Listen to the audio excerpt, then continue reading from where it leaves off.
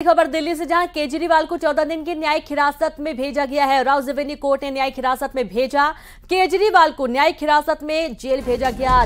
CBI का केजरीवाल पर पूछताछ में सहयोग न करने का आरोप भी लगाया, जैसे कि आपको मालूम है कि हाल ही में केजरीवाल को की पेशी हुई थी और सुनवाई के दौरान रिमांड पर उनको लिया गया था, लेकिन पूछताछ में कोई सहयोग केजरीवाल नहीं कर रहे हैं, ये कहा जा रहा है। अब केजरीवाल को न्यायिक हिरासत में भेज दिया गया है। बड़ी खबर आपको दे रहे हैं, जहाँ केजरीवाल को 14 दिन की न्यायिक हिरासत में भेजा गया है। राउज एवेन्यू कोर्ट ने न्यायिक हिरासत में भेजा, केजरीवाल को न्यायिक हिरासत में भेजा गया। सीबीआई का केजरीवाल पर पूछताछ में सहयोग न करने का आरोप लगा है।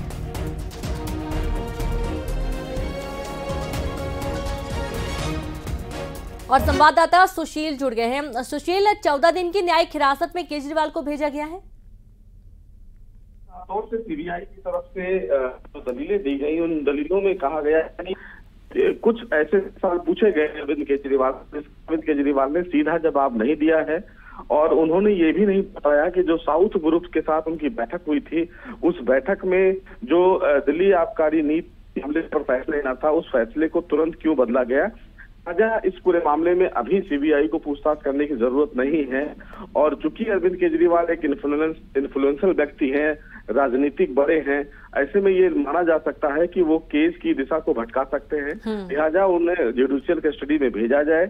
कोर्ट ने आज फ़िलहाल सीबीआई की इन तमाम दलीलों को सुना और उसके बाद 12 जुलाई तक अरविंद केजरीवाल को दिल्ली के तिहाड़ जेल में भेज दिया है। क्योंकि इस पूरे मामले में सीबीआई के पास रिमांड के लिए चौदह दिन का समय होता है क्योंकि तीन दिन का समय ऑलरेडी सीबीआई ने एंगेज कर दिया है तो अभी भी सीबीआई के पास उनके बा, बाकी बचे हुए दिन अभी हैं।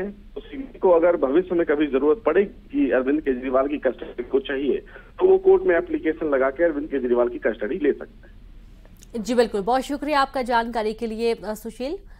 आगे बढ़ेंगे। जशपुर में जोरदार बारिश हो रही है। उफान पर नदी नाले और राजपुर नदी, जहाँ रपटे के ऊपर से पानी बह रहा है, दोनों तरफ़ आगमन, आवागमन बंद हो चुका है और इससे लोगों को काफ़ी दिक्कतों का सामना करना पड़ता है।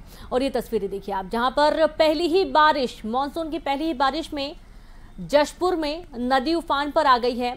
जो रपटा है, उसके ऊपर से पानी बह रहा है और उसके चलते दोनों तरफ़ से आवागमन बाधित हो गया है।